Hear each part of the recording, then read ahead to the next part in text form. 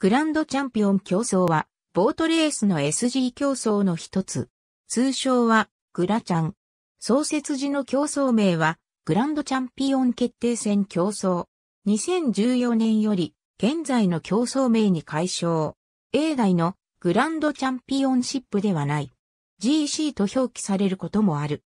本大会が SG の中の SG と言われるのは、上位進出を SG 競争で実現しなければ、出場資格はないため、いわば本大会による SG 初出場は不可能である。年によっては、翌7月との月またぎ開催となる場合もある。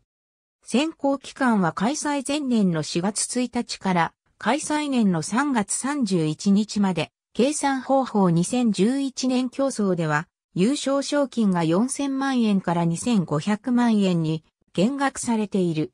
2019年競争からは3300万円に増額された。